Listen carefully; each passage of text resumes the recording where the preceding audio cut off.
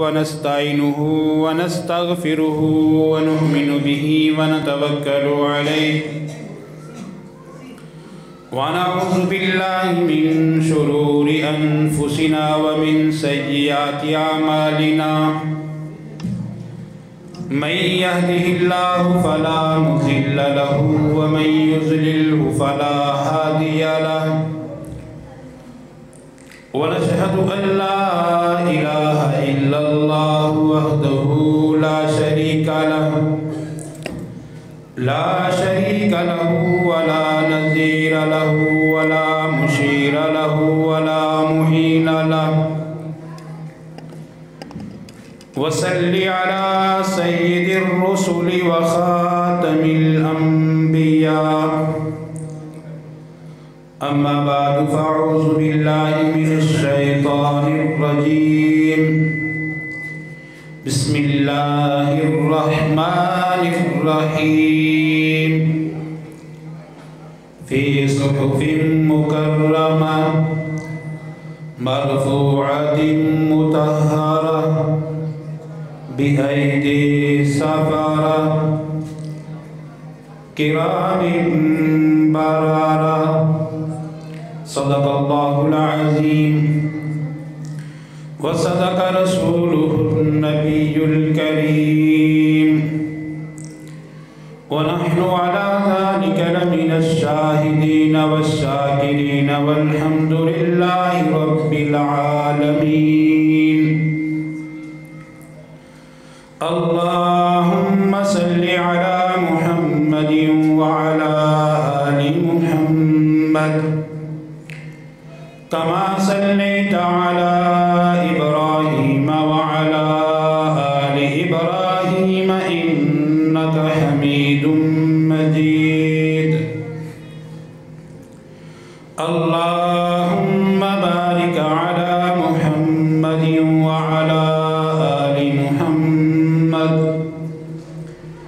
كما باركت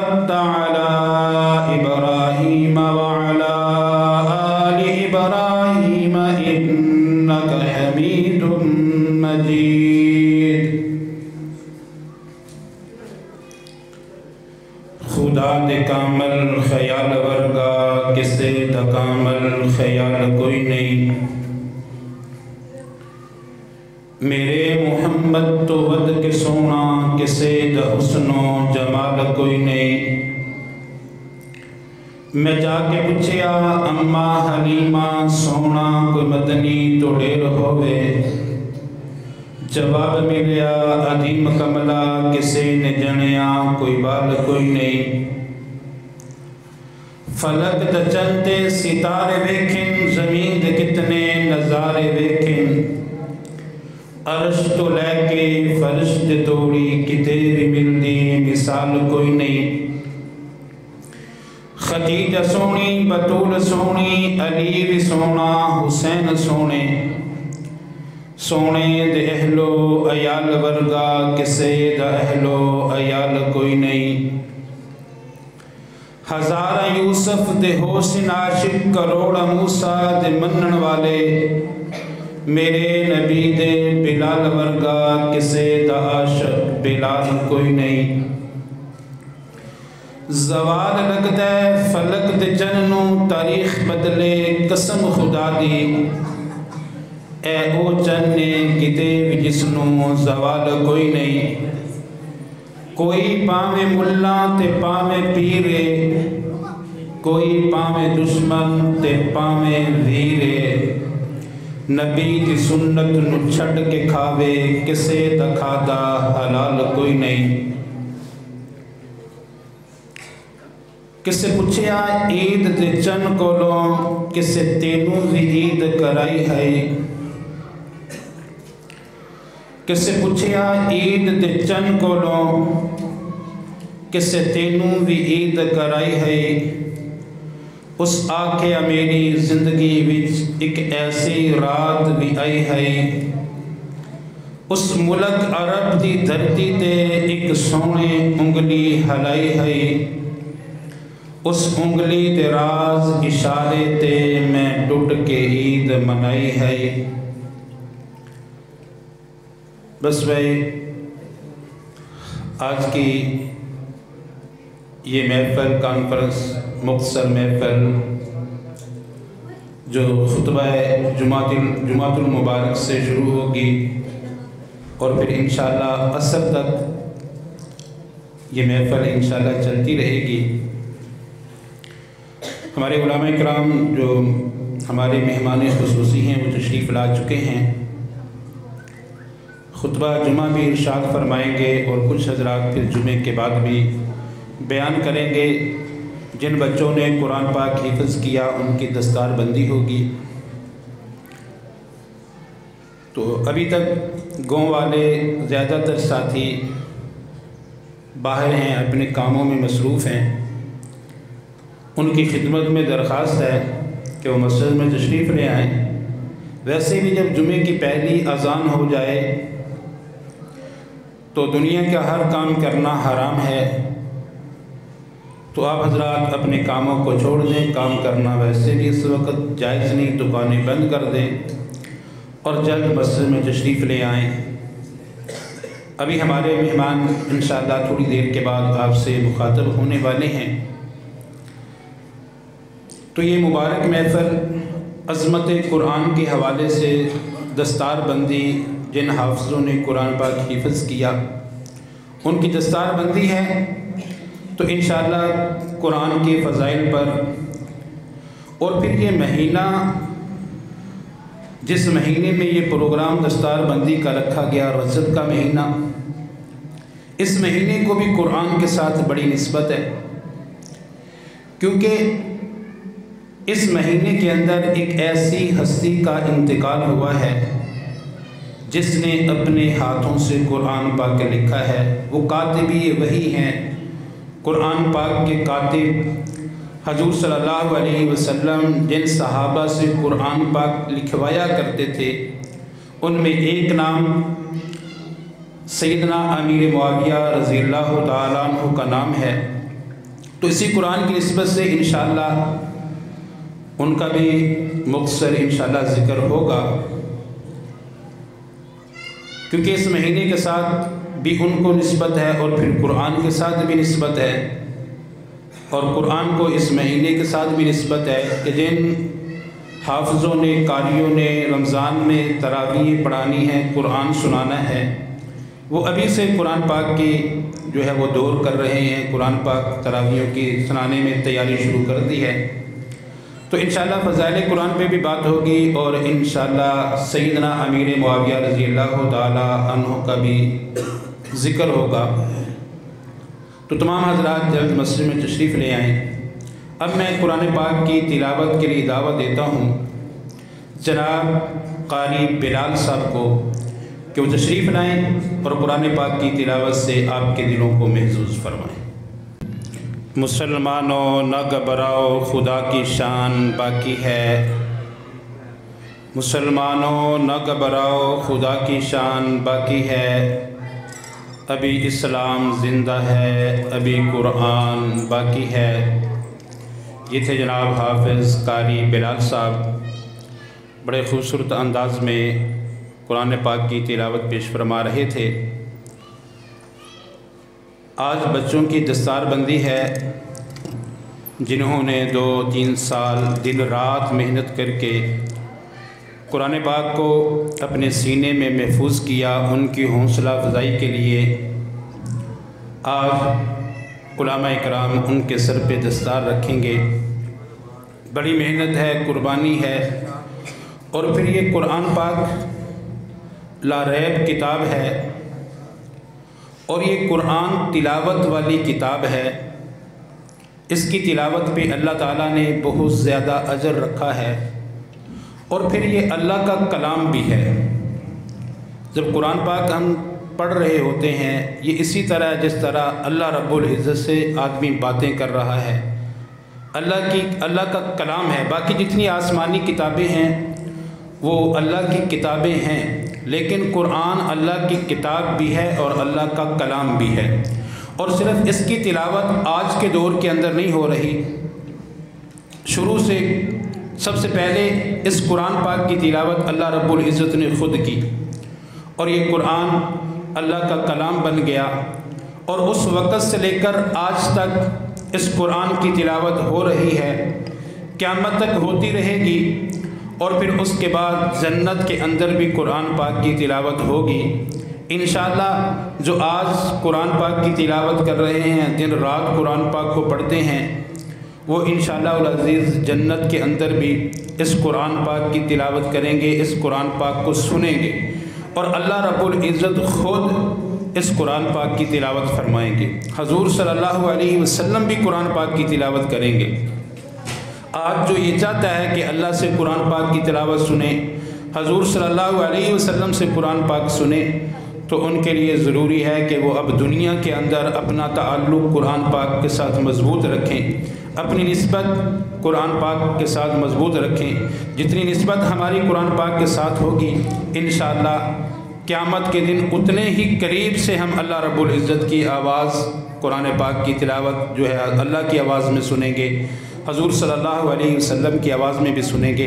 اب میں مختصر نعت کے لیے دعوت دیتا ہوں۔ جناب حافظ حارث صاحب کو کہ وہ تشریف لائیں اور نعت یا کلام سے آپ کے دلوں کو محظوظ کریں۔